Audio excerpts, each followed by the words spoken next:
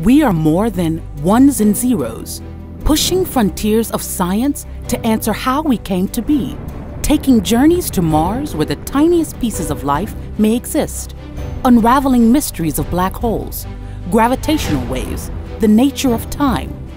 We are more than algorithms, peering into the depths of ourselves, decoding our molecules, our cells, our DNA, bringing hope to those who suffer from disease. We are more than petaflops, measuring the ocean's might, envisioning its dance with the atmosphere above and the seafloor below, capturing the global impact of a single wave. Collaborators, colleagues, and friends, we are connected by a common thread the determination to make positive change. We are more than HPC.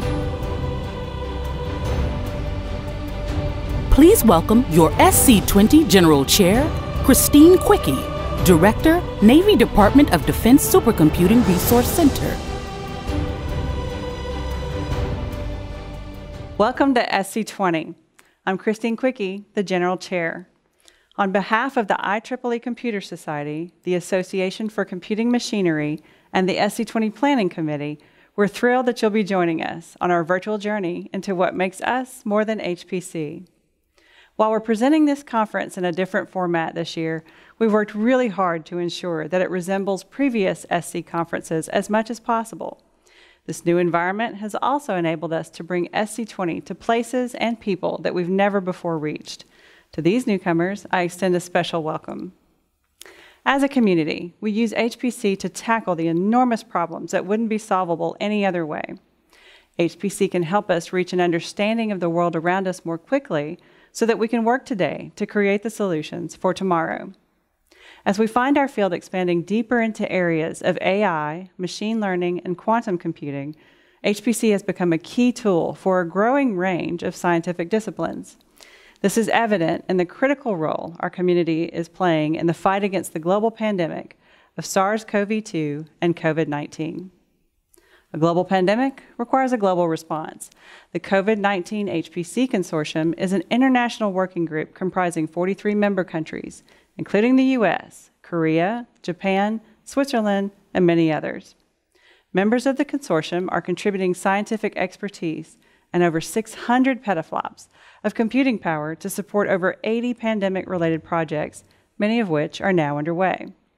For example, on the Frontera system at the Texas Advanced Computing Center, researchers are testing the efficacy of existing antibodies from a previous version of the SARS virus to see if they will work against COVID 19. At one of Italy's leading scientific hospitals, researchers are reconstructing and modeling how the coronavirus binds to cells at a molecular level.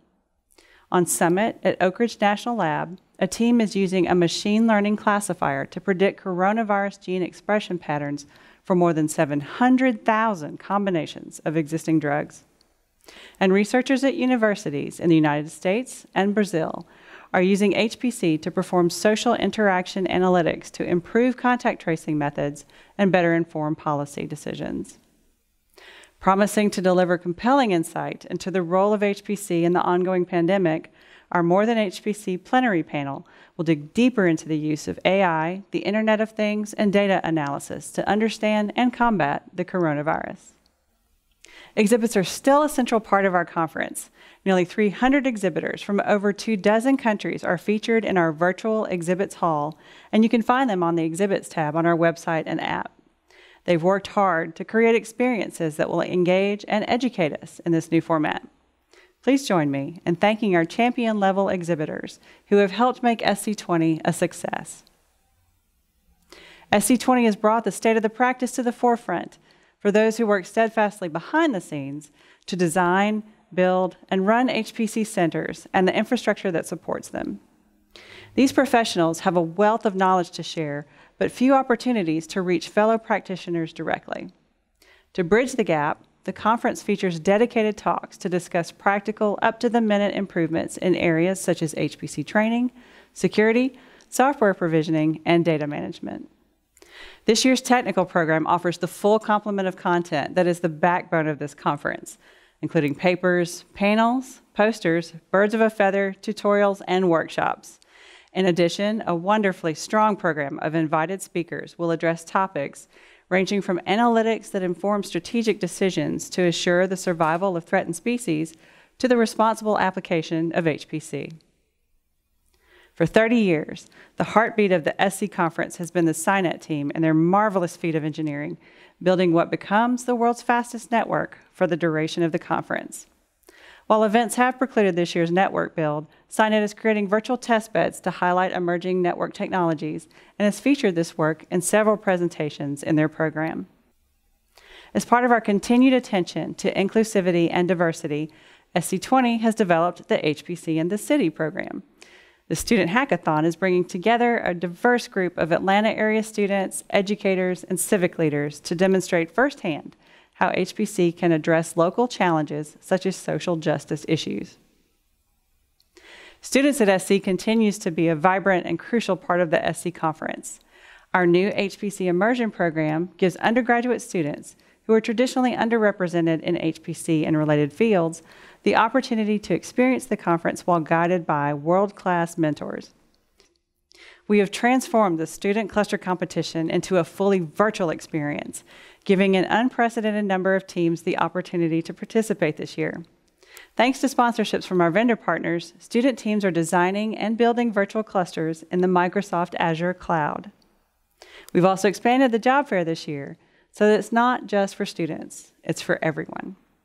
Those of you who have contributed to the SC20 technical program, exhibits, SciNet, and students at SC programs have had to put in extra effort this year to help us have a comprehensive conference, and we thank you. We invite you to join us at the awards ceremony at the conclusion of our conference when we'll highlight some of the top accomplishments of our community. Planning the world's largest supercomputing conference isn't an easy task, even in a normal environment. When I was first selected to be the SC20 General Chair three years ago and began forming the conference committee, none of us had any idea we would be planning a conference amidst a global pandemic. And this largely volunteer team of over 700 people has worked harder than ever to ensure that SC20 not only stayed on the map, but did so with its customary breadth and depth. To quote Game of Thrones producer Christopher Newman, all you can do with any large operation is get the best people around you and let them go. These volunteers have given generously of their time and expertise, and without them and our partners, SC20 simply would not have been possible. It has been my deepest honor to work with this incredibly tenacious team. Please join me in thanking our colleagues for their tireless efforts. From COVID 19 to clean transportation, our community is tackling every problem we encounter with determination and speed. Whether we're helping to accelerate the development of new gene therapies or working to understand the very origins of our universe, we're making incredible strides. But that doesn't mean we can rest. We have so much more to do to improve the world around us, and that's why we're more than HPC. In a moment, you'll be hearing from this year's keynote speaker, Dr. Bjorn Stevens, whose study of clouds has contributed greatly to our understanding of climate change. This is of profound interest to me, both professionally and personally. I live on the hurricane prone Gulf Coast of Mississippi, where I lead the Navy DoD Supercomputing Resource Center. So, climate, weather, and ocean modeling have a direct impact on my daily life. Thanks to improvements in observational instruments and computing capabilities, Hurricane forecasting has improved significantly over the past two decades, helping all of us protect property and save lives. For that, I am grateful, and I'm very much looking forward to learning more as Dr. Stevens leads us on a fascinating journey of where we've been and where we need to go in climate research. Professor Bjorn Stevens is a director at the Max Planck Institute for Meteorology since 2008 and a professor at the University of Hamburg. To say Professor Stevens is a man with his head in the clouds is an understatement. That's because he strongly believes that clouds are at the heart of some of the most fascinating questions posed by climate change. And it's why he's recognized as one of the world's leading experts on how atmospheric water, in the form of clouds, shapes our climate. As Professor Stevens explains, massive new sets of observational data analyzed with the power of exascale computing will break barriers for researchers building fundamentally new climate models, giving us resources to investigate the planet at the most granular level. Professor Stevens served as a lead author of Clouds and Aerosols for the fifth assessment report of the Intergovernmental Panel on Climate Change, which informs policymakers as they consider programs to mitigate impacts of climate change. Professor Stevens holds a great number of prestigious honors, among them the Clarence Leroy Meisinger Award of the American Meteorological Society. He held fellowships at the National Center for Atmospheric Research and the Alexander von Humboldt Foundation. Professor Stevens received a master's degree in electrical engineering from Iowa State University and his PhD in atmospheric science from Colorado State University.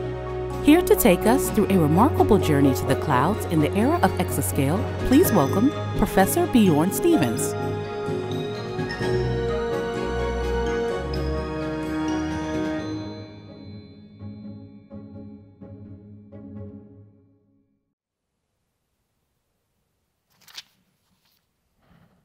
Hi, my name's Bjorn Stevens, and it's a pleasure to have a chance to speak to you all today. I'm going to tell you a story about climate and computing. You know a lot more about computing than I do, and I know a thing or two about climate. And to help bring the two things together, it might be useful to know something about this book, The Hitchhiker's Guide to the Galaxy. The, the, the main idea in the book that's useful for today's story is that a civilization, an advanced civilization, has a big question they want answered. They build a really big computer to answer it. The computer thinks for a really long time. The computer's name is Deep Thought. It thinks deeply for 75 million years. And it comes up with the answer to the ultimate question that they posed. But by that time, the descendants of the people who built the computer forgot the question. So they went about and built another computer one out of organic components, and they called it Earth. And the idea then was to go into the computer and learn more about the question that they got the ultimate answer to. And so if you keep that in mind, then you're all set for today's story. So it starts off here in Hamburg, where I'm at. And this picture brings together a lot of the elements that we're going to use through the rest of the story. Um, it also has the colors from Supercomputing 2020 in it, which isn't such a bad thing either. But the, the, the, main point that you see here is it's a, it's a wonderful port city, and you see the, the face of industry and global trade in the background. It's one of the largest container harbors in the world. And you see different ways of, of, of living in the foreground with the bikes. You see a thin layer of clouds up there. These are stratiform clouds, which end up being a joker in the story. But the elephant in the room is the boulder, this big rock. It's called a glacial erratic in technical terms. In German, you would call it a Findling. And if you go through the North German countryside, you'll find little town after little town has these right in their town square because they're dug out of the fields. And for a long time, people had uh, no idea where they came from. You know, how do you get a giant boulder in the middle of a field? In this case, it was in the middle of the river when they were deepening the river. So, so how does that work? And there was a time where people thought this was from the biblical floods that brought the boulders from somewhere else.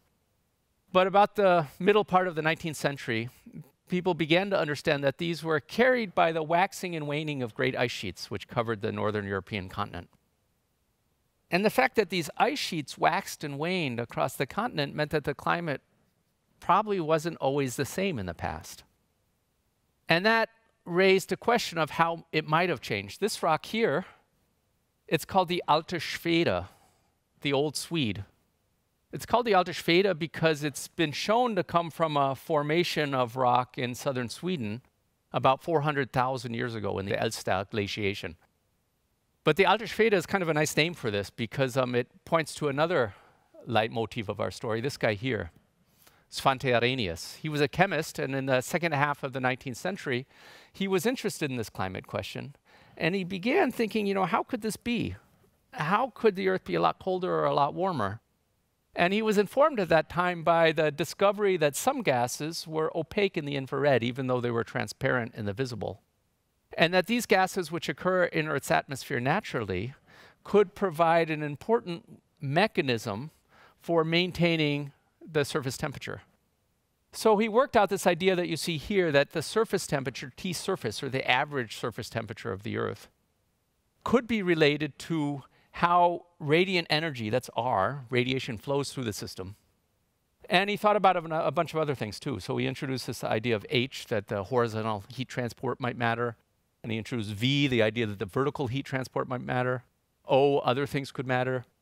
And C was the carbon dioxide and water vapor. These were the greenhouse gases. So his, his thought was, you know, if you want to understand Earth's surface temperature, you got to understand this stuff. Problem was he didn't, he didn't really understand any of them. He, he, he knew that C could increase. He didn't know why, but he said, let's just let carbon dioxide increase. He said, let's not worry about the other stuff. And uh, forget about V for a sec, that's too hard. And let's forget about H. And let's just try to work out the radiation. So he said, okay, we can imagine C changing, like um, increasing, like I just showed, to 2 or other numbers, two times as much. And how will the radiation respond? Well, to figure that out, he had to piece together the puzzle into, into giving a form to that equation. And he did that by making a little model which had two layers, a surface and an atmosphere. And in the atmosphere, you assign some infrared opacity, which then the C could influence. And by working through the energy balance of those two layers, he could pop out an estimate of how the surface temperature would depend on C. So he had a kind of method to do it, but he actually didn't even know how to do the radiation. He knew roughly, he had it all kind of going in streams, but he didn't know the infrared opacity here um, designated by beta. So the other clever thing he did was he figured out a way to get beta. And the way he got it was with some good old Appalachian moonshine. Not the type of moonshine you see there, but more the type of moonshine you see here. It's the reflected sunlight off the moon, which a guy named Langley had been using to calculate the infrared opacity of, of, of columns of water vapor and CO2 so by using the sunlight reflected from the moon, you could do the spectroscopy to get estimates of how opaque CO2 would be given its amount. Problem was these, these measurements were not in exactly the right wavelength that one needed, but you know, you can always extrapolate, and he did, and he took these measurements and he put them in his model and he came up with a, a rough answer. So if you think about that, this was the question. Would increasing CO2 warm the Earth? fast forward here, this was 1890 when he was doing it. This is today, and I'm standing in a valley of the Morteratsch Glacier. And that you see is in the background. If you look way in the background, you see that glacier. It's about three kilometers away. Um, at the time Arrhenius was thinking about his question, the glacier was right where I'm standing. It was actually moving down the valley towards the town in the 1800s. And at the time Arrhenius began thinking if CO2 would warm the climate, more people were worried about the climate getting cold and the, and the glaciers advancing even further into the valleys, into the town. So this question that he asked wasn't at all obvious. It was the ultimate question. It tended, it, it ended up being a very important question, but it wasn't one that you would naturally lead yourself to ask at that time. And the answer was okay, pretty rough. Um, but it outlines the, the, the, the, question that we feed to deep thought over the next 50 or 70 years. To understand how this goes, there's something else about the glacier and its retreat which might be informative. And that's that the glacier doesn't move all in one go slowly backwards. So the glacier started, it turned around about the time Arrhenius was thinking about these questions, and it headed up the valley. But it didn't head up in a steady pace. It went and, you know, uh, spurts. And you can see that here in this graph. So what the graph shows is in the blue bars, it shows sort of the yearly retreat from the, I think, 1870 up until the present. And then the, the black line shows the accumulation of that. So the steady retreat, once in a while, I think there's a few years where it comes forward, but mostly all the way down. And what you see, it doesn't happen all in one steady go. There's, there's periods in the beginning where it goes quickly, then not much happens, and it goes quickly, and then not much happens. And that's also like the science.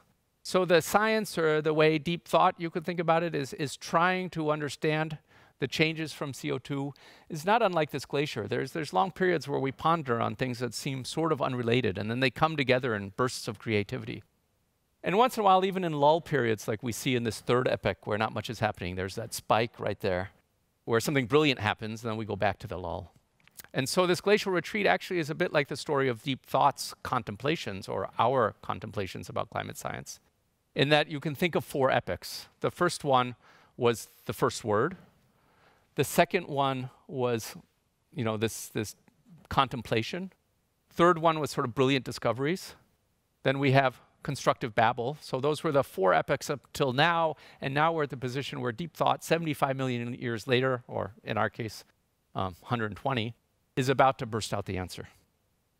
So let's go to the first period. The first period is characterized by about 50 years where people forgot all about the ultimate question. So they didn't have to wait 75 million years to forget, they forgot right away. No one worried about Arrhenius's paper, Arrhenius, uh, Arrhenius's ruminations. They were busy doing other things, figuring out the weather. But it turned out important. So this guy here, Wilhelm Bjerknes, also in Stockholm at the time, 1906, was trying to figure out the equations you needed to solve to figure out how the weather would evolve. It turns out later in our story, these equations are exactly the ones you need to figure out the H in Arrhenius's question. Another guy had this idea that you could actually compute the equations. So um, Lewis Richardson, he had this crazy idea that you could predict the weather by solving those equations, but of course they're much too complicated to solve. Um, and by the time you solved them, the weather would be gone. But he said, no, no, no, no. What we'll do is we'll, we'll, we'll have many, many people solving different parts of the equation. So we'll lay out people in a giant amphitheater, and each person will be at a particular point, and they will solve for their weather at that point, and they can ask their neighbors, you know, that's a, um, a one-to-one, they can, they can ask their neighbors what, what their information is to figure out temperature gradients and how the temperature will change. And everyone will compute, and if you look, you'll see there'll be a, a, a scheduler um, which will be coordinating all the computations with its little spotlight beaming down on the, on the different, um, essentially, nodes of the computation. So even here you see the architecture of a massively parallel computer where we see multi-core nodes where everyone has their computation multi-threaded and the schedulers going around. The only thing you wish for is, is in this computer is to, I mean, node failures are a lot more dramatic here than they are in, in our modern machines. Crazy idea, but maybe it wasn't so crazy as we've seen because the machines were be developed not that much later. So we go into the 40s. John von Neumann had this project to sort of blend emerging computing machines with this idea of computing the weather. He used a simplified version of, of, of Bjerknes's equations, but they showed with um, these machines that were emerging at the time, post-war, that you could actually compute the weather. And this was an important ingredient that was later taken by um, other people to, to fill in H. At the same time, it wasn't that people just were working on Arrhenius's H term unknowingly. People were also working on other terms, like this guy, Fritz Möller. He um, was at Ludwig Maximilians Universität in Munich. And he was doing a new assault on R. So he was an expert on radiative transfer. And unlike the other people, he was interested in Arrhenius's question but he realized you needed to do R a lot better. And here I show a picture of him, and the graph there is from one of his papers where you, you see he's trying to work out this absorption feature from CO2, which is the thing that Arrhenius was trying to use to calculate his beta. He wasn't measuring in the right place or using measurements at the right wavelength, um, but, but um, Möller was, was, was on the path to doing this in the right way. So this was all happening, and there was one more piece of the puzzle, and it's the guy there sitting with the glasses looking at the two younger gentlemen. His name was Joe Smagorinsky, and he was the first director of the Geophysical Fluid Dynamics Laboratory in Princeton, New Jersey. It was, a, it was the follow-on to this effort of von Neumann to calculate the weather. And what Smagorinsky, his stroke of brilliance was one in building a team, but in the other aspect, realizing that these methods people had been developing to calculate how the weather moves were exactly what you needed to calculate H. And he put together a lab and the machines that would allow you to build circulation models of the whole Earth that would allow you to calculate the H term. So that got us through this grand contemplation of the, of the glacier retreating, and it takes us to about 1965. Not much had happened.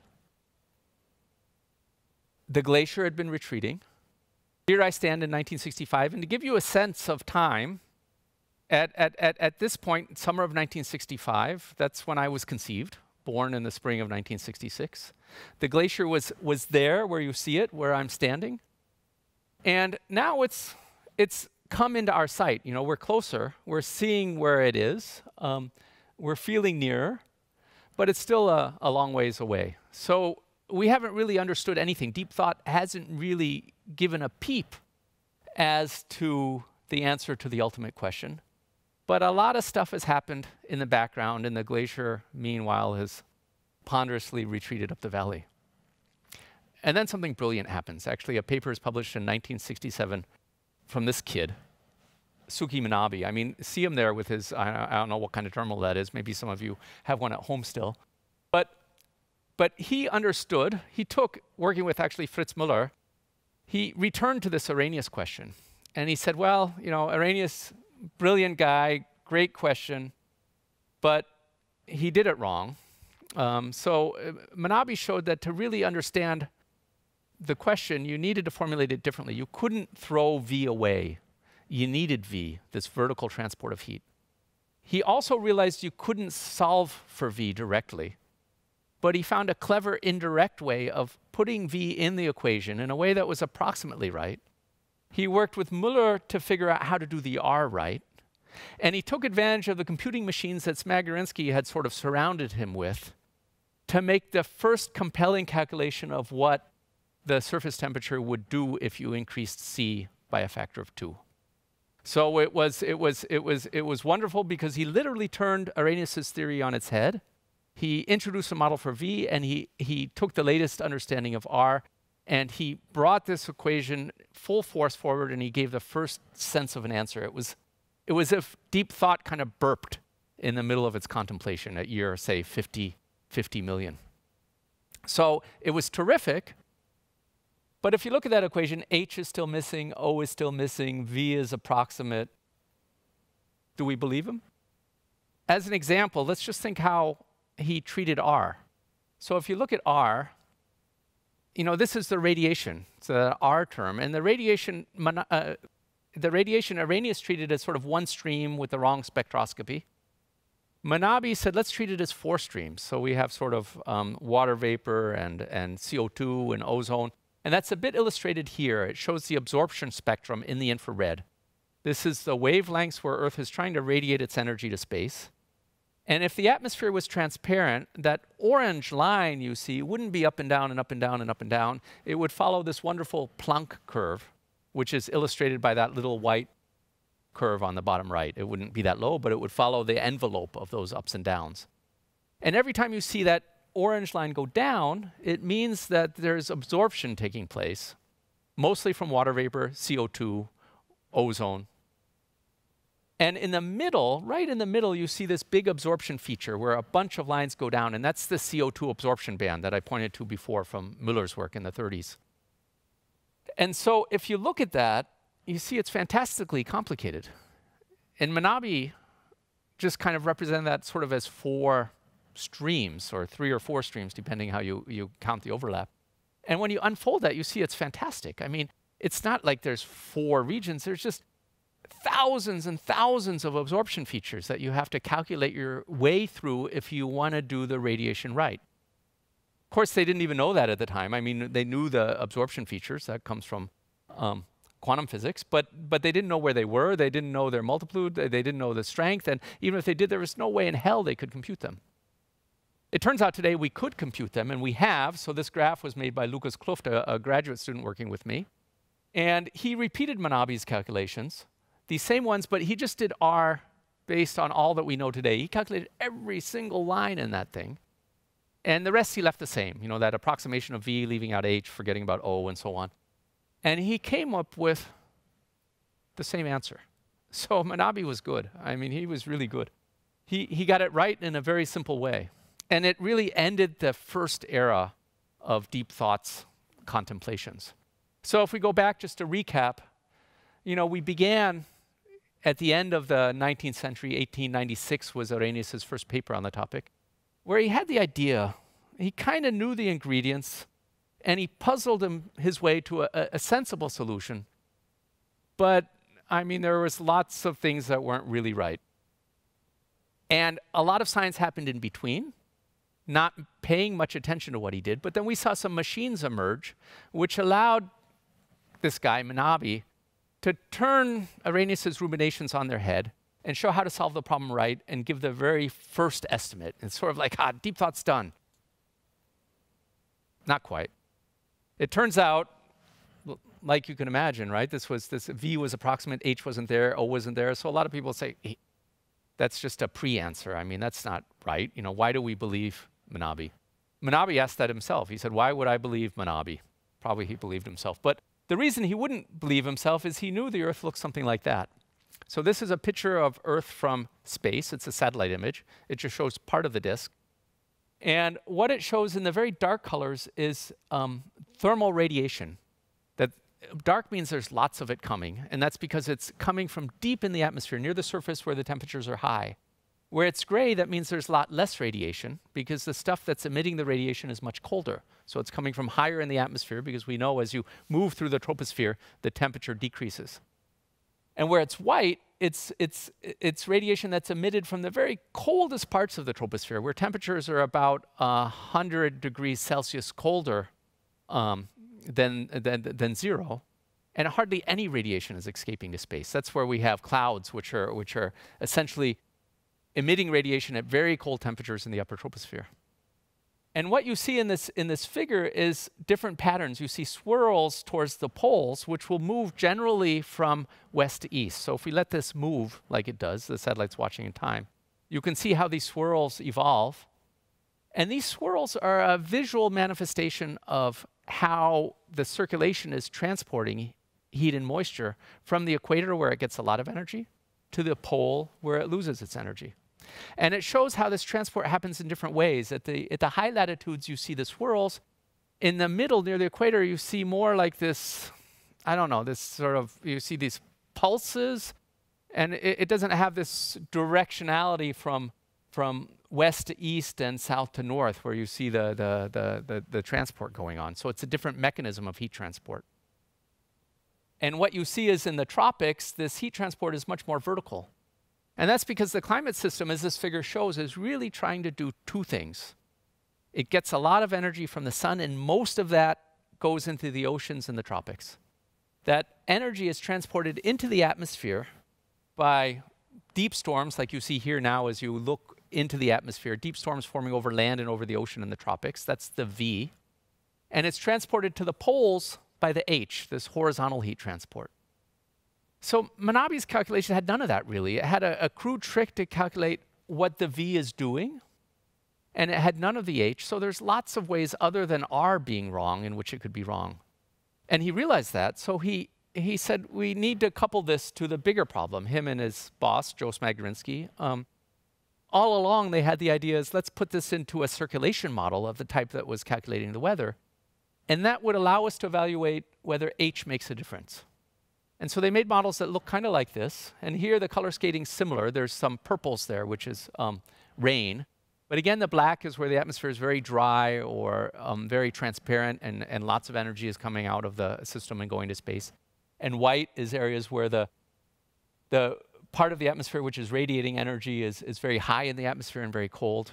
And you see these systems moving in the extratropics at the high latitudes, at the latitudes of North America or Europe moving from west to east. And the same thing in the southern hemisphere, you see them moving from west to east. And then they're kind of blinking spastically in the tropics. And that's because the circulation model can do the H okay on these scales, but it really doesn't have a clue about V other than to use that, let's call it the trick or the cleverness of Manabe to, to indirectly represent the V. So when you do this calculation, it, it, it, you, you end up more or less getting the same answer as he did with the simpler one where he neglected H. And so what, what this does is it brings us to um, another milestone around the year 1980, 1979 to be precise. And here I am in 1979 in the, in the life of our glacier. We're kind of narrowing in on it. It's still retreating on us. It left this big stone for us to remind us of the Alte Schwede. Um, but here we are in 1979 getting close to where we want to be, you know, asking the glacier the meaning of the universe or why it's going um, away. We're close to where we want to be, and it's, it's, it's a milestone year because we've, we've rediscovered Arrhenius's question and we've worked out a pretty good semblance of an answer. We've got H, we've got R. Okay, V is a problem, and we don't know so much about O. And this was sort of a capstone of this was this wonderful report called the Charney Report, written in 1979, very short, easy to read, beautiful report, which summarized the knowledge at that time and the observation that CO2 was increasing to make the first sort of formal statement about what deep thought might eventually give us when it was ready to give us the answer. So 1979, great report, most elements of the answer. And at this point, you could say, well, you know, we're, we're mostly done. And there's reasons I'll get to in a few minutes, which would lead us to expect that we're not going to get much better than what was written down in this report. But, but one thing did happen. So we're now entering this I think it was the third phase in that in that that chronology I, I, I gave you. This this period of constructive babble that I referred to. We had tools that allowed us to calculate how the circulation H connected to the radiation. We couldn't really deal with V. We hadn't really thought too much about O, but we had a good sense of the question and we had a rough idea of the answer. You know, doubling CO2 would lead the Earth to be, according to this report, it would be one and a half to four and a half degrees warmer. So in this period of constructive babble, there was this one genius stroke. Um, as I remember that diagram where I showed the glacier receding year by year, and in this third epoch, not much happened, but there was this one excursion. This guy is kind of like that excursion, this erratic excursion. He's, he's someone um, from Hamburg, actually. He, for a long time, he was the founding director of my institute. Um, he's retired now, goes often for walks not so far away from the Alte Schwede. But what he did when he was back um, a younger man was he realized that it's not enough to know that the Earth should warm when there's CO2. We should be able to detect it. And what he did was he worked out two things. He worked out what's our expectation for how the system would behave if there was no warming? What's the natural variability in the system? And he understood very deeply that, that the Earth system has this, this wonderful way of digesting, let's call it weather noise, the noise of passing weather systems digesting them by the ocean in a way that translates them into long-term variability, so decadal and multi-decadal and centennial, which means that we could observe a warming Earth and a retreat of a glacier for reasons which might have absolutely nothing to do with increasing greenhouse gases. And he went from that realization to also realizing that if the warming that we're observing is from CO2, it might have a signature that looks different than the signature of natural variability. And he set out with a team to build models that you could put on computers like this one. I think that's the one they used eventually. That you could put on computers like this Cray 2S to actually work out how the fingerprint of warming might differ from the signature of natural variability. And ask the question, can we detect the warming from observations? And lo and behold, he could. And so this was the very first detection to say that not only was Manabe particularly clever, but the ideas he developed allowed us to say that the warming we observe isn't natural variability. It's not the effect of the sun. It's from increasing greenhouse gases. So that was a, a masterstroke. But other, otherwise, in this period of, of a constructive, constructive babble, I would say, you know, mostly people just tried to make the models like I showed before, that black and white one, a bit more colorful with a bit more uh, resolution. And, and that's sort of shown here. This is a, the type of model that leading climate centers around the world use today to make these climate projections. They're not really different from what Manabe was doing in any structurally important way. They've got lots and lots and lots more bells and whistles. So you could think of this positively as that people have been fiddling with this O term. They've been adding, you know, other things into the system to see if it really changes the picture. And what you realize is it doesn't change the picture. The big thing, and Manabe taught us that at the, at the very beginning, you know, when he corrected Arrhenius's calculation, the big thing is getting the V right. And as pretty as people make these sorts of models look, they don't help in the least with V. And now I want to explain to you why V is difficult and why, back when Manabe was doing this, we shouldn't expect to get V right. So this is a Earth at night. And if we let the film roll, what we see is that as we rotate, we come into the view of the sun and the sun rises.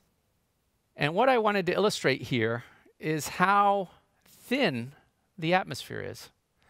And this thinness of the atmosphere, on one hand, is a really wonderful thing because it means that the H term involves a sort of quasi two dimensional circulation. There's not a lot of vertical going on. Transporting energy from the equator to the pole happens in a thin atmosphere, and you don't need to worry so much about the vertical to get it right. And that's what allowed us, they have very large scales, that's what allowed us to make progress. But the thinness becomes a problem when you think about V. So you can attach some numbers to this, and I've done that here. And what you see is we know the Earth's circumference is about 40,000 kilometers. So going from the equator to the pole is, is, is about 10,000 kilometers. The eddies, these swirls that move the energy, are about a 1,000 kilometer on characteristic scale. So to represent them in a computer in the way that Manabe and Smagorinsky did, you need to be able to discretize the Earth in, in, in blocks that resolve circulations which are about a 1,000 kilometers. They could do that in the, in the 70s. But if you want to get V, you need two orders of magnitude. You don't need 1,000 kilometers, you need 10 kilometers because the atmosphere is so thin. But if you think of that, 10 kilometers, that's a factor of 100 from 1,000. So you need machines which can resolve scales which are a factor of 100 smaller. Doesn't seem like a lot, a factor of 100, but the problem is the atmosphere, the problem has four dimensions. We have to integrate in time we have the left, right, the back, forth, the up and down. So we've got three spatial dimensions in one time. There's four.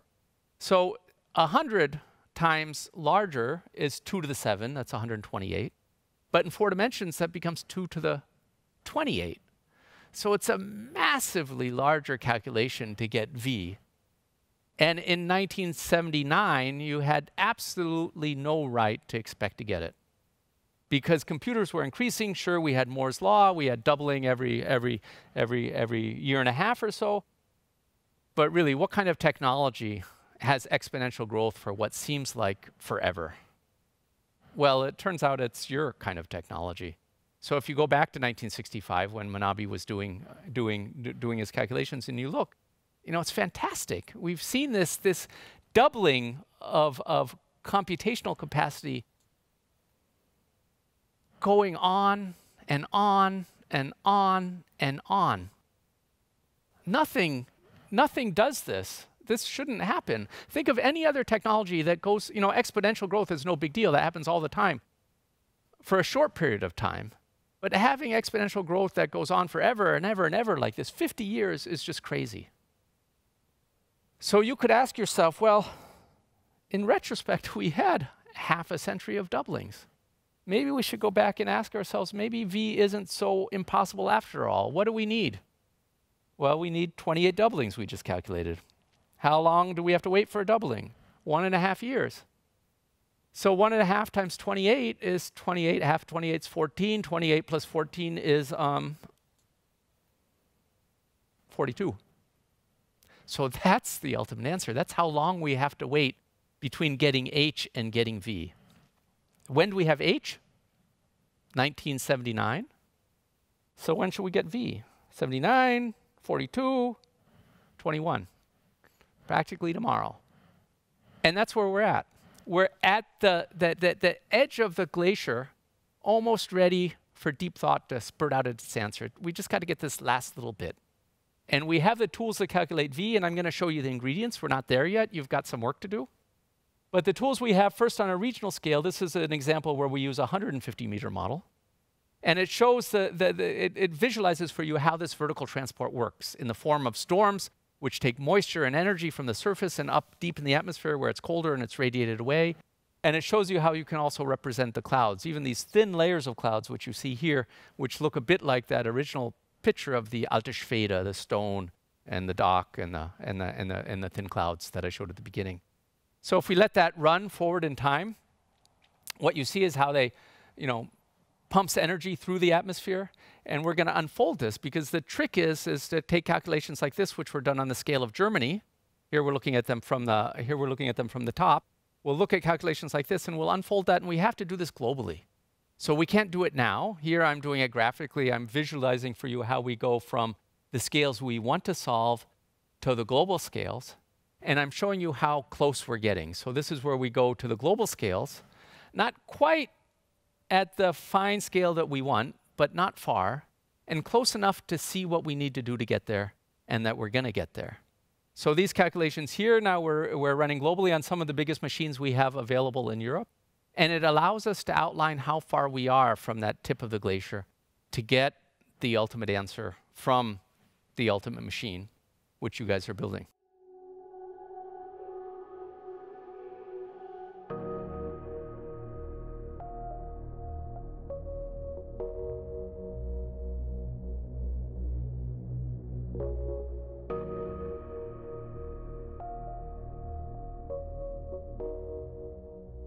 So let's see where that takes us. Here we are. We, we can see where the glacier is. We see the last steps we, we have to make. It's a scramble, but we know now we're going to get there. We're going to get to that glacier, probably just before it disappears, and we'll be able to give you the answer. I want to show you quick some numbers to convince you of that. So the numbers that I have here are based on the um, benchmarking on some of the big machines in Europe. We work a lot on Piz Daint lately, so this uh, beautiful machine that's ending its lifetime in the Swiss National Computing Center. Mistral, our workhorse here in Hamburg at the German Climate Computing Center. And recently at JUWELS Booster at the Jülich Computing um, Center has allowed us to do some of the benchmarks. And what we try to calculate is throughput. You know, to do the calculation, what we need is to be able to simulate a certain number of days per day to be useful. So if we can't simulate tomorrow before it arrives, then why bother? Kind of the 75 million years. So to be useful, we want to be able to simulate roughly 100 days per day. And we want to do it at a scale where the, the global grid is about 1.5 kilometers. So with these simulations, we can show at 5 kilometers, we get 50 simulated days per day, S, um, per petaflop. And on some more complicated architectures, it's about 25. So we can use this, this sort of um, flop scaling. I know it's not perfect, I know all the problems, but it works for this, um, to kind of extrapolate forward. And we say, well, how much more intensive is the computation if we go to the scale we want, 1.25 you know, kilometers, a factor of four. So if you do the math of going from the five kilometer model at this 50 S per petaflop, what we need is two to the seven, so 128. And we need two to three of that. The time part has to be strong scaling. But we can do that. So we need another 100 a factor of 100 from these sort of workhorse machines we're using now, and that's already there. That's in place. I mean, if you look at um, the JUWELS booster, we could do this calculation that we want. We could get the throughput that we want, but maybe we could only do it once. Machines like Fugaku and the emergence of, uh, of exascale is showing that not only are these calculations feasible, but they're going to be practical. So you'd say, ah, we don't have to wait too long. You guys don't have to do too much work. We're almost there. But there's a, a bit more to the story. And if you remember those clouds I showed you in that picture with the stone, it turns out that they're a joker. And Manabe actually knew that they're a joker. The problem is maybe the clouds don't stay constant. They might increase or decrease as the planet warms. So it's not just a question of working out V, you got to work out what happens to these thin little clouds. And with a one and a half kilometer model, that might not get you there. But here, even here, we're so close to the glacier, and that's why it's a scramble. I think we can get there. We can get there, we need another factor of 10 in space. But by being clever, we don't need the throughput of S of 100. We can do short simulations that are time sliced from these coarser simulations. And we can work out if the clouds really are a joker. And that's what's outlined in the, in the rest of the numbers there. And it tells you how far away. But if we get an exaflop machine with the sort of performance characteristics of the machines we have now, or a multi-exaflop machine will be even able to work out the joker, the clouds. So there's a real chance that we can, we, we, we, we can solve this problem. And that brings us to the end of deep thought.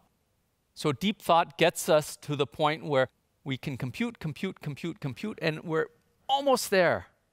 Exascale will get us there to get the, the, the final answer. The problem is it gets us to the glacier. And what's it tell us? We've gone all the way up the valley. We get to the glacier to tell you, according to my calculations, the glacier should be gone. And the glacier's gone. It's a bit like forgetting what the question was that we were asking in the beginning. But here's where Earth comes in in building this machine to provide the ultimate answer to the ultimate question, we're going to be able to do so much more. And here I want to illustrate that because maybe it's not so relevant to tell you that the glacier is gone when it's gone. But did it go because of CO2 in the atmosphere, or was that part of natural variability?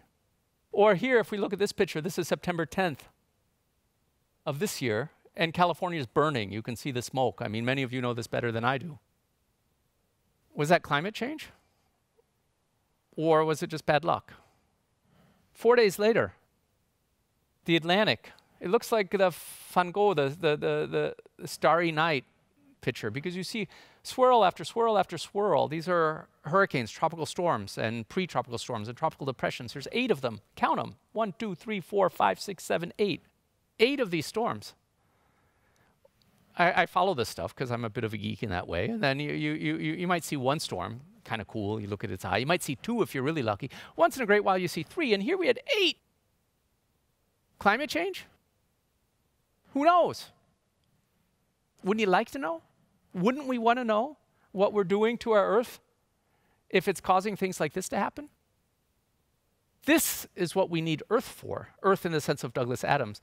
We need a new type of computing capability, not one that's going to give us an answer to tell us that the glacier's gone when the glacier's gone, but one in which we can interact with the system to learn wholly new things.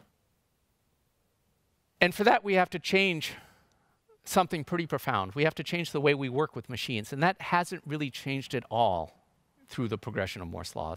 And here you can see that a little bit illustrated with this video where you see, you know, in the early days of machines, we were putting tapes on the machine, we were typing in punch cards to, to, to you know, enter our programs into the machine. We'd wait for the machine to calculate, and then the output would come like, um, you know, big printed output, and we'd kind of look through, you know, uh, 42. There comes, I, I think you can see it there, maybe. It's not much different today if you think about it. Okay, we get to work in cafes, so we connect with Wi-Fi, but we're still there. That's the punch card. We're still moving tapes around. It's not, it's not some guy in a suit, it's a robot. Um, and okay, we don't have printouts looking for the number 42, but we can you know, have guys in virtual environments putting pictures on screens, which visually show you 42, but it's the same serial workflow. But we can do it differently, and you see it here. You know, this is the, the, the, cool thing about this is the, the old way of interacting machines involves experts and layers and layers of expertise, serialness, you know, beginning, middle, end. Here we see the future. And it's not just because they're kids, these are the grandkids of a good colleague of mine, and they're interacting with a machine. And as brilliant as this colleague is, and as brilliant as these kids probably are, they don't know CUDA. They don't even know Python. They probably don't even know English. They couldn't write a sentence, but they're interacting with a machine. So we're creating, we see it happening. We're creating ways to interact with machines like we need to interact with machines to solve these big problems. And so some of us are visualizing th these Earth information systems where we take machines like Deep Thought and expose their information content to users who can who can work through the consequences of their actions, of their policies, of their imaginations, of their hypotheses, to try to understand how changes in agri agriculture will affect food security in Africa, or how changes with warming will affect um, flooding in Northern Europe. This is what we need to do. And we, meaning you guys who are going to build the machines, and us guys who are going to be uh, developing the models that you can put on those machines. And it turns out some people actually get this. And there's a big effort behind it. Here's the president of the European Commission, Ursula von der Leyen. Let's listen. And with the European Green Deal, we are aiming high. Europeans are calling on us to drive the change. Now it's up to us to answer their call. Thank you so much. It turns out that there's real money behind this Green Deal and a brilliant vision. And the brilliant vision is building planetary information systems that allow us to work through the consequences of our actions, of our policies, to see how they affect our world so that we can build a more sustainable future. And it involves a partnership between people like you and people like me, and it provides funding, and it envisions a, a, a, a grand new attempt to understand how our world works and how we're influencing it. it's coupled, if it's done right, with a wonderful data assimilation system. That's this circle that goes around it there, which allows you to don't panic. It's not one shot. We're building systems which can learn from data, which can be which can learn from their use to make ever more adaptive and, and, and clever systems for representing how the world works and the consequences of people's interactions with it. So this is the future. This is, this is Earth. This is building interactive systems. And that's our next job. So we have to get over that, that, that, that, that rock cliff to the edge of the glacier just to tell people it's gone. But in getting over that last hurdle, we'll build the machines that we then need to turn inside out in the second phase to make Earth. So I'm going to leave you with that thought here is that, like Douglas Adams' book, we're going to all this trouble to make a big machine to make an uh, ultimate answer to an ultimate question that doesn't matter anymore. But the beauty is, in doing that, we've created an information system that allows us to do what we need to do next, which is to create information systems that we can go into and we can literally grab the earth, anyone, and see what the consequences of their actions mean for how things will evolve. What if we change agricultural policies in, in, in, in Africa? How does that affect food security? What if the ice caps melt? How does that affect um, rising sea levels? What if we invest in a distributed way? How vulnerable are we to storms? Um, these are sorts of questions that people can ponder if we give them the right tools, and that's our job now, is to give them these tools. So that's the next great adventure after we get up to the ice, um, is to create new types of information systems where people can expose the full information content to users that can, can use that in a tangible way. And so with that thought, I'd like to thank you all for your attention and wish you a um, wonderful day. I'm here for questions for the next hour or so, um, and it's been a real pleasure. Thanks also to everyone who made this possible.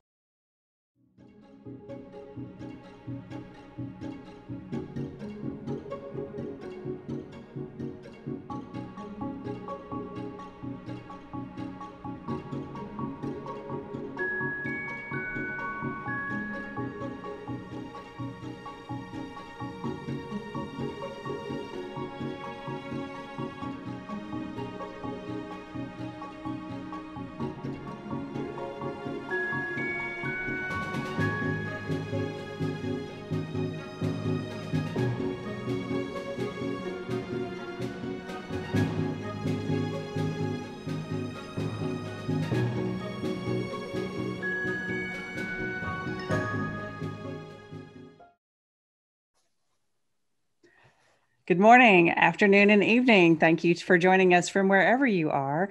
Um, I want to introduce our, I'm Christine Cuicchi, our general chair, and I want to introduce our keynote speaker, Professor Bjorn Stevens from the Max Planck Institute of Meteorology. He gave us that fantastic keynote. And uh, I've seen a lot of really great questions rolling in, so we'll talk about a few of those. Um, one of the first ones we had is from, let's see, Timothy W. How far back in calendar time could you start a long term exascale simulation and still have good enough historical measured data to spin up a good run or ensemble of runs for useful span of parameters? So we, uh, we, we, we typically start in the early um, 1900s or the, the late part of the 19th century, so the late 1800s. There we have already pretty good measurements of um, some of the ocean basins and a decent estimate of the global temperature record and a sense of some of the other parameters um, like the amount of CO2. So uh, sort of 100 years ago would be the sort of spin up and then you run it forward in time to see how likely the last century um, is from say an ensemble of simulations. So I'm not sure if that answered the question, but that's my interpretation of what it was in the answer. Okay.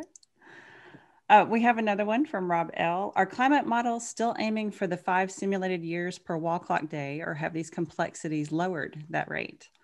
Yeah, you know, people are greedy, so they want as much as they can um, get.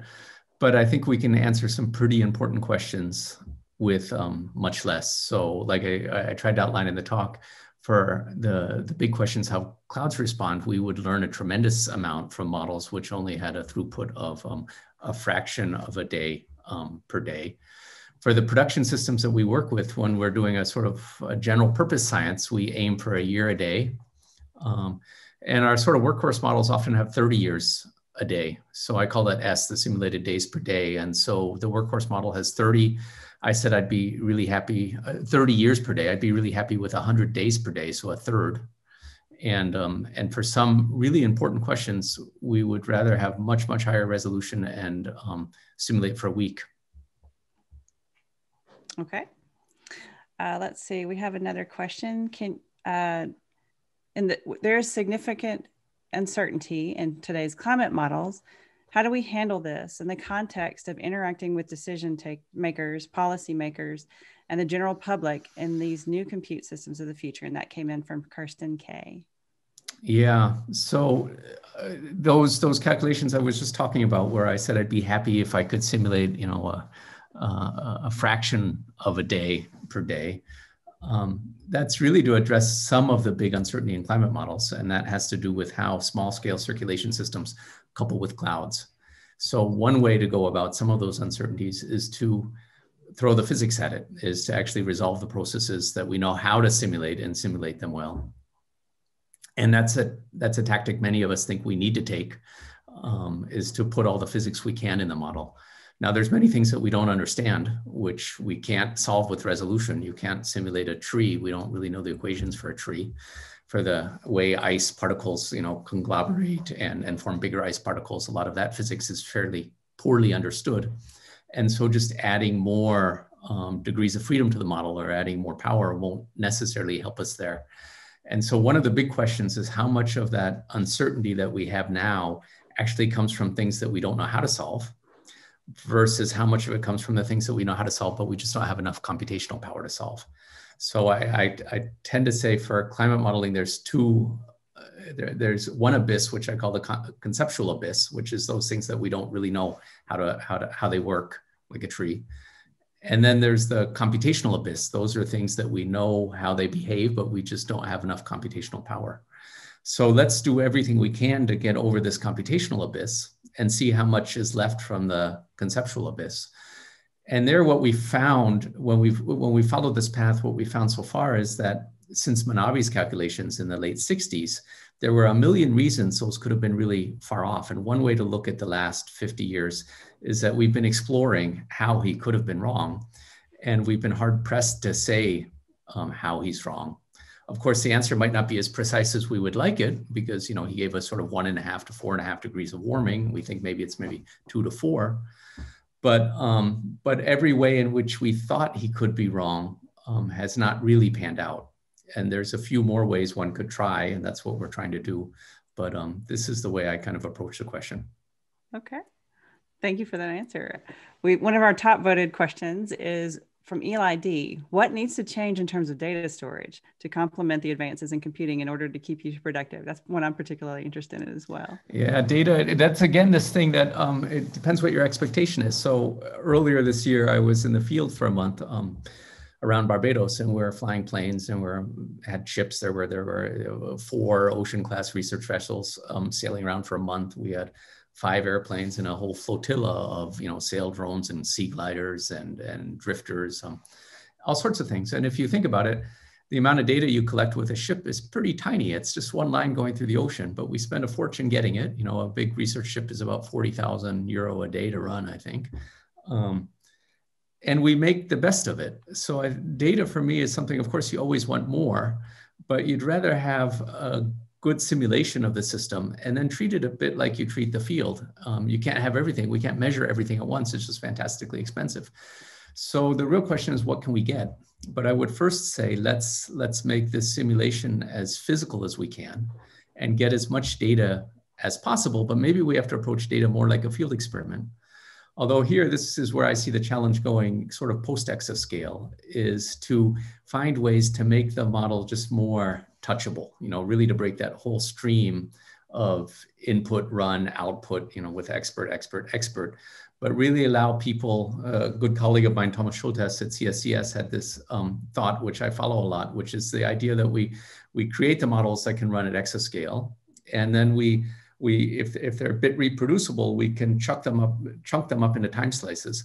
push them to the cloud, and then people will just rerun the model, getting the output that they want. So they're just much more interactive systems. So I think we have to think about data not as much in the magnitude because we'll always lose, but in the way in which we access the data, our ability to rerun the model, and our ability to actually not program our analysis on the output when it sits on the disk, but actually to program the analysis on the code. You know, so we say to the model what we want.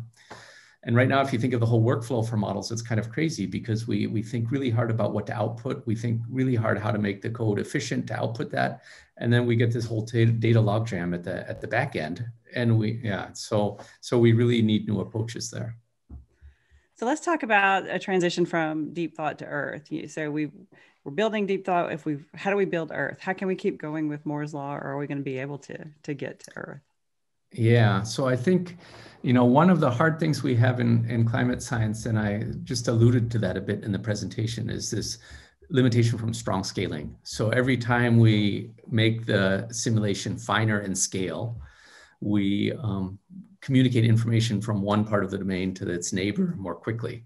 So we have to take smaller time steps. Even if you do things with implicit solvers, you're iterating more. And so there's really no way around the fact that that um, time is a limitation. And the finer you go the shorter the time step and the shorter the time step the more time steps you have to take to actually simulate a day. And the only way to speed that up is through the strong scaling.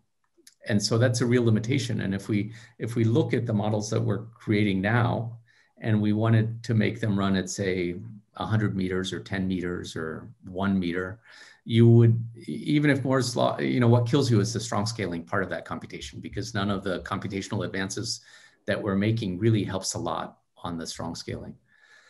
So that's why I think we get to one a workhorse machine that can go at one kilometer and then we change the game. I mean we turn it inside out and we say let's let's try to think about how we can make these useful as information systems not as just something that gives you a number like 42 but as something that you know the the, the girl in the in the cartoons could kind of grab and touch and open and manipulate.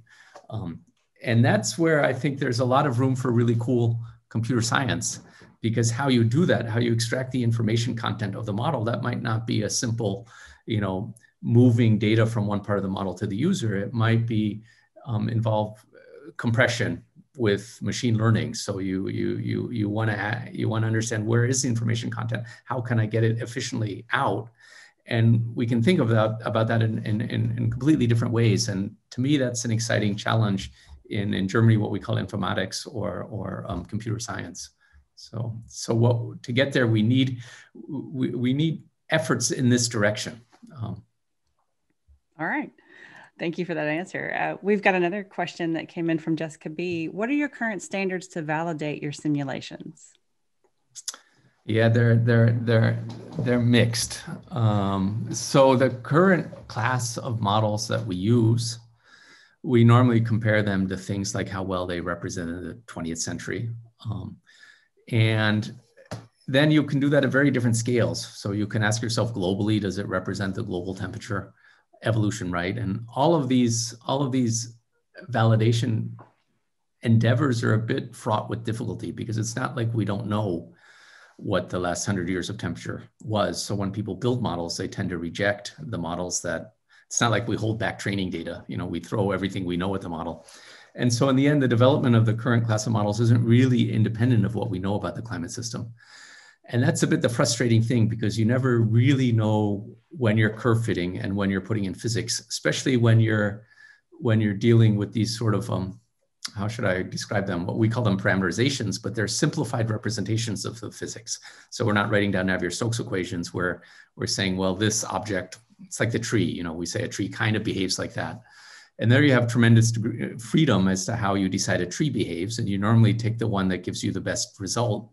That doesn't mean that's the right one because it might be compensating for another error. So climate modeling is really fraught with this difficulty. And that's why in the end, the most important thing is how you reason because it's, we don't want to be stuck like, you know, the people 75 million years later with 42 is the answer. And then we're just sort of servants of the model. So the important thing is being able to use these models in a way in which we can develop arguments and reasoning that allows us to look at the problem a different way and then check that independently. So this idea of model validation, I think, is sometimes the wrong path because we, you know, it, it ends up just turning into fitting. Um, and the right path is to, you know, we still can't get away from the fact that we have to understand how these things work. And the models are tools to help us understand how they work. And when we understand how they work, we can anticipate surprises in ways which give us confidence in our understanding. And so I think that's the, in the end, um, we, we, we, need our, our brains. Um. Agree. Uh, so we have a good question came in from Daniel T. What sort of programming languages and systems are you using for those simulations?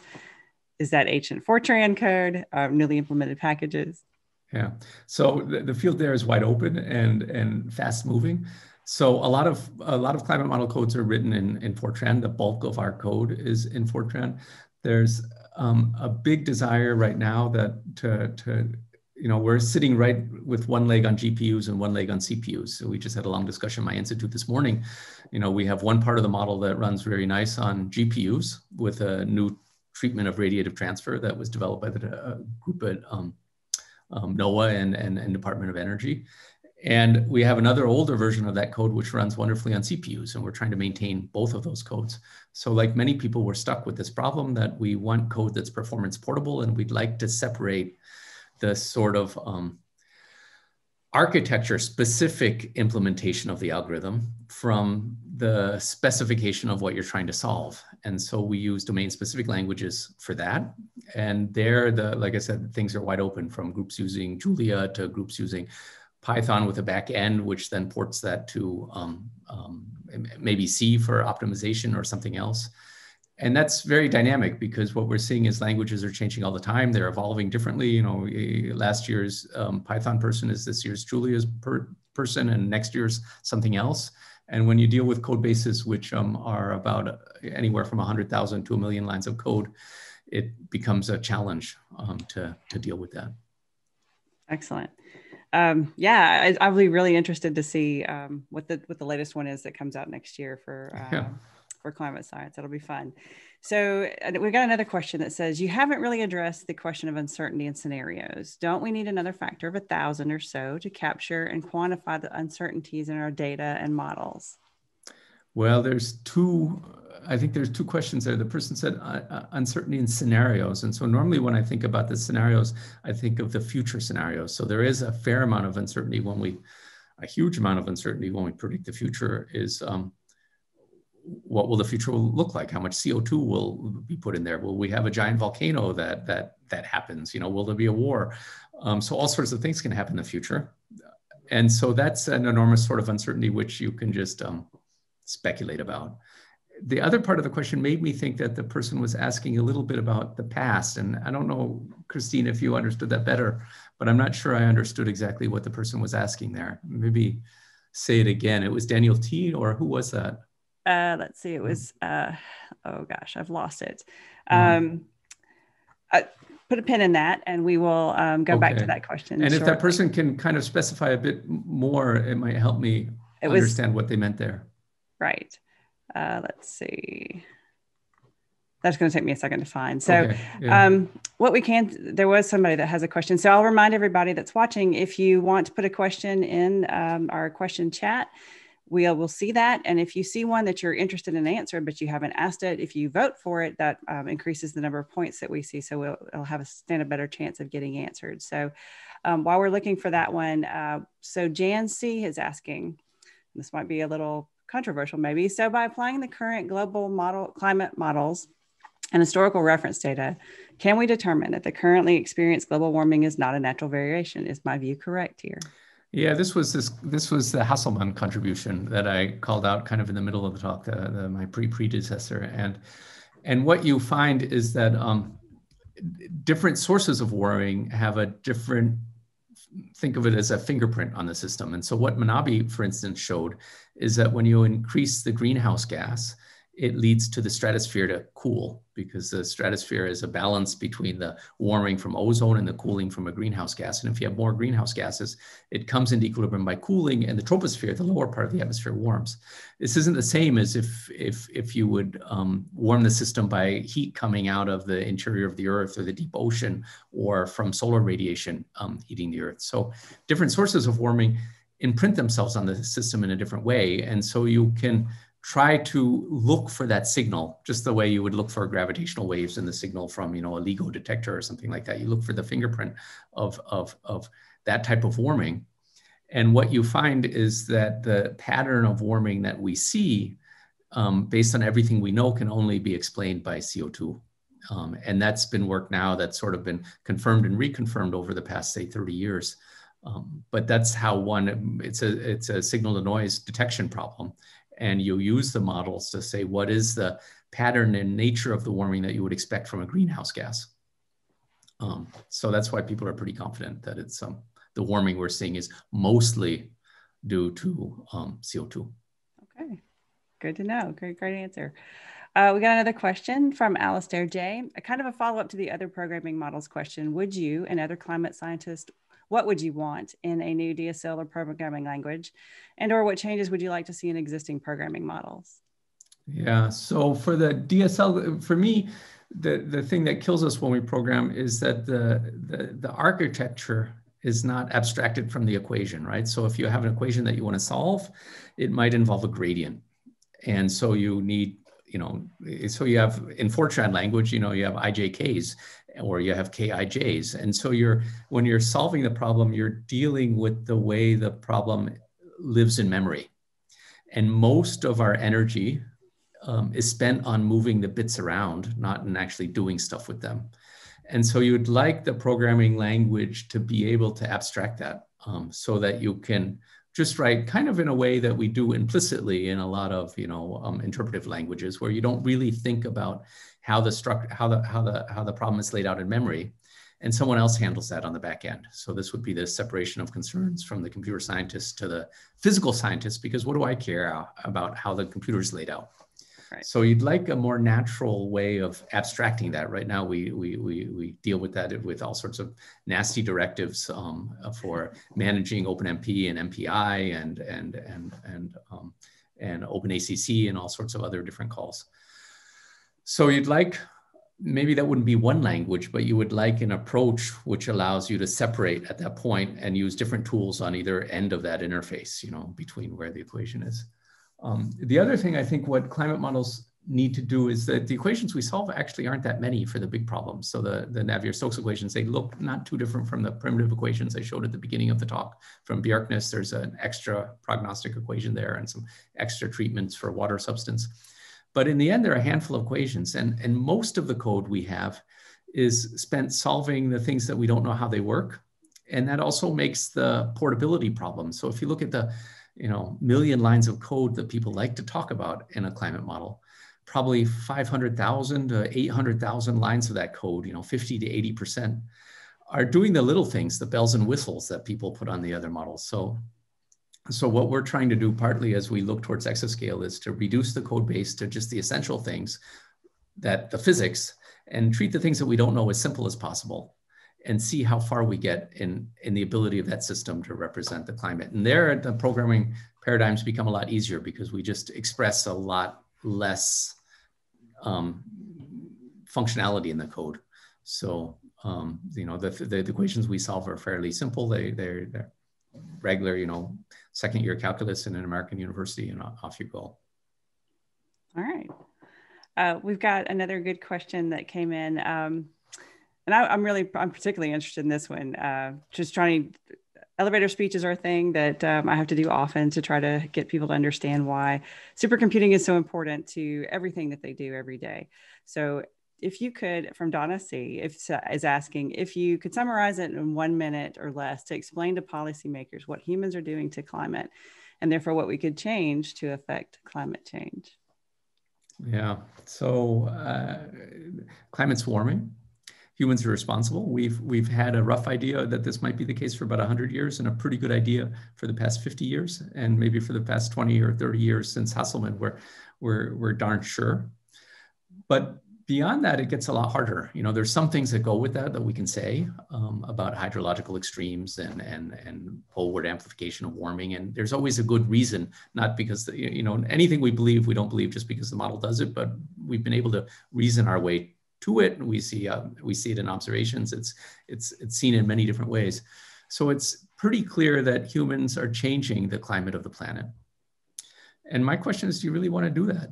I mean, you, you, know, maybe you'll be lucky. It might just turn out fine, but it doesn't seem like the best use of our creativity as a as a species to take that gamble. Um, and when I talk to people, I would say, shouldn't we unleash human creativity in um, in other ways, in trying to find a way to, you know, um, advance human happiness without, uh, without taking the risk that we're, we're changing our climate in, in ways that we won't be able to get out of again. It's a, it's a slow moving system and we don't really know where it's headed.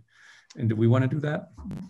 Yeah. Yeah. So for me, the answer I'll, is obvious, but Right. I mean, I'll, I'll, have to say, having spent a couple of hours in the eye wall of Hurricane Zeta a couple of weeks ago, I definitely would prefer that we not.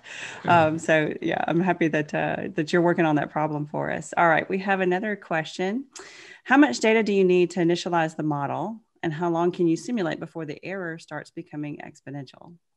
Yeah, so there's two things there. Um, normally, when we think of an initial value problem, we start from the initial data, and then because of the the, the, the um, nonlinear dynamics and the chaos in the systems, the trajectory that the system follows diverges from the trajectory it would follow if there was just you know a one bit flip or something like that. So so the trajectories diverge, and that's the weather problem, the initial value problem, and that's you know two weeks or something like that. And it doesn't really get better. At some point, you can have more and more information about uh, more and more in the systems, but it doesn't really let you follow the trajectory for a whole lot longer because the way the errors grow at small scales we think of climate as a boundary value problem. So it's really governed by the, the boundary values. And, and so what are the boundary values? It's the solar input, it's the amount of CO2 in the atmosphere, it's the layout of the continents. Um, and that's pretty static. There is a question that people could ask is how much uh, transigence is there in the climate system? So if you think of the climate as sort of the envelope of all the weather trajectories, sort of like the basin, the shape of the basin that the marble's rolling around in, you know, how fixed is that or does that evolve on different timescales? And that's a bit of an unknown territory. Um, so how the slow variations in the climate system convolve with natural variability. So is there sort of a sweet spot of predictability there where the boundary conditions are evolving slow enough that you can really describe how the system behaves and take them as static? Or is the natural variability in the system so large that it sort of bleeds into the slow evolution of the boundary conditions? And I, I don't think there's a good answer to that. Okay. Uh, so our top voted question at the moment is from Ali S. Do you use your climate models to test different climate engineering solutions, i.e. sulfates, uh, using sulfates to change the Earth's um, albedo? If so, what are some of the more optimal climate engineering solutions? Yeah, well, the best climate engineering, yes. So the, the, the short answer is yes, we do. Um, and the, the second short answer is the best one is to reduce um, or eliminate further CO2 emissions because that's actually a, you know, it's not a band-aid, that's the, that's the problem. And so that's the best one. And if you, you know, of course, most people who pose that question, they're, they're thinking about the case where we can't reduce CO2 emissions. What could we do then if we had to preserve something? And there, I think the, the, the solar radiation management in the stratosphere always comes out as the most effective in, in many measures the problem I have with all of that sort of thinking is that it it it presumes that we could do this. You know, so eh, if you think about putting sulfate in the stratosphere, sure, technically we can do it. We send up rockets and put sulfate in the stratosphere. But imagine if the United States decided to do that and Russia had the biggest drought it ever had the next year. You know, you'd be in trouble. It'd be a problem. Um, and those sorts of things will happen. And so anytime you think about that, you need a global regulatory framework. And I have a hard time thinking that we could develop a regulatory framework to allow us to put sulfur in the stratosphere and not be able to develop the regulatory framework which allows us to reduce the CO2 emissions in the atmosphere. So I see those problems as really from a social political sense coupled. Although what do I know about social political things? So I don't I don't don't listen to me too much there. That's um, yeah. Okay, thank you. Uh, our next question is from Frank B. If we looked back at the dramatic changes of our climate in, let's say, the past 10,000 or 100,000 years to 10 million years, and we started to test our best simulation with the best data from that time, would our models simulate onset and the onset, excuse me, and end of an ice age correctly? Or easier. If we started to say in 1500, would the model simulate the little ice age about the time of the Maunder minimum correctly? A simulation that delivers those events correctly would be extremely trustworthy and silence many who are still not yet convinced.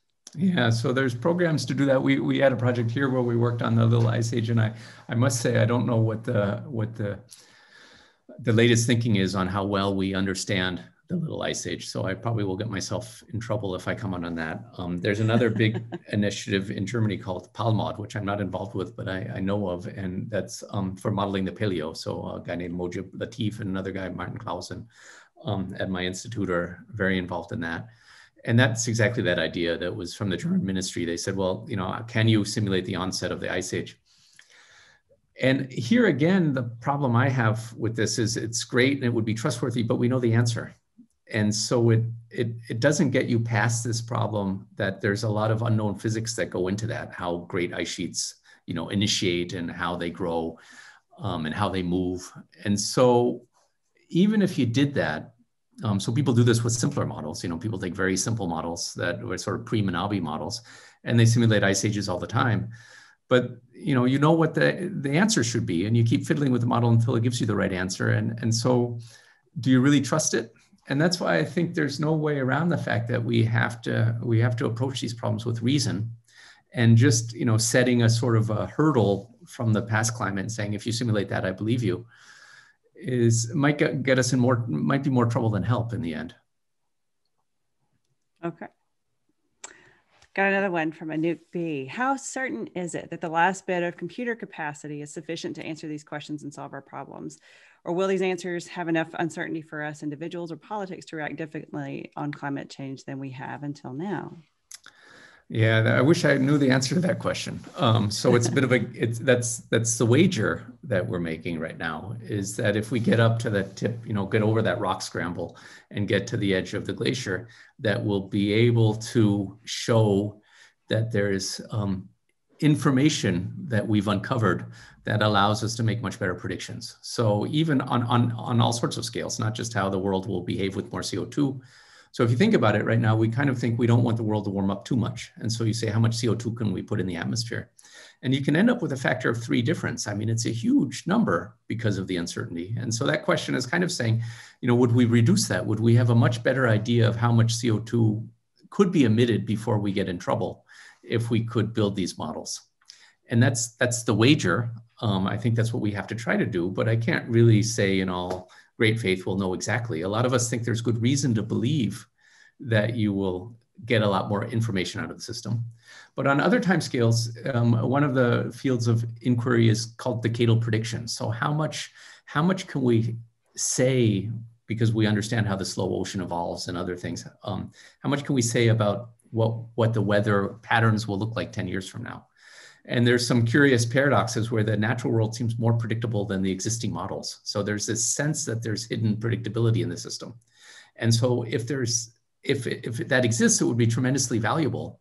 And so the way as a scientist I would approach that is trying to say, let's take everything we know and, and surmount this computational abyss, you know, compute as much as we can to find out how good we can do. Um, so that's a bit the adventure is, is, is we don't know exactly where we'll end up. There's good reason to think we'll learn a lot more if we do this last little bit, but it's science, um, so nothing's guaranteed. Okay, thank you for that. So I think we have time for one more question. Um, we will try to go ahead and answer all the questions in chat if you want to come back and see the answer. Um, but this last question from Hiroshi S. Having solved the ultimate question almost, what's next for the field? Yeah, that's Earth um, that's that's that's really this young woman grabbing that system, um, as I was saying, and being you know being able to try out her own ideas. Um, so being able to create systems that people can manipulate on their own because the thing about the earth is that um, we know how it works you know when if you're a water manager you know what a flood looks like. I mean you don't need to know fortran to mess with a flood. You you you you you know what heavy rains look like. You know the different ways in which you can lay out your city or if you're an agricultural policymaker. I mean all of the things we're dealing with we know how they work.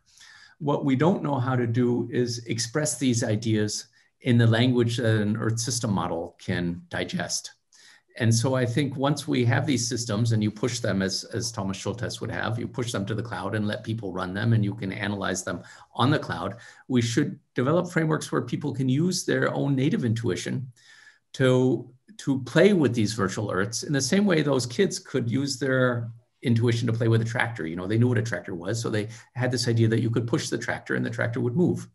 And so, as we showed in the cartoon at the end, if you're that young woman, you can push. She looked a lot like Greta, didn't she? Um, um, but anyway, so you, if you if you want to solve problems, you can work through your thoughts in a in a sort of intuitive or tangible way without having to convert those into a sophisticated language that you feed up through experts and come back down through experts who say 42 at the end. All right, great. It's great question and answer session. Really appreciate it. Really, really enjoyed the keynote. Um, I do want to thank everyone who has joined us from all over the world, um, and I want to encourage you again that uh, we'll we'll answer some of these questions in chat. I want to wish you a great SC20. Again, thank you for your support all the, uh, over all these years, and thank you again, Professor Stevens, for the fantastic uh, uh, keynote and discussion. Really appreciate it. Thank you, and thanks to the whole thanks to the whole team from um, Supercomputing 2020. It's been really fantastic. Great.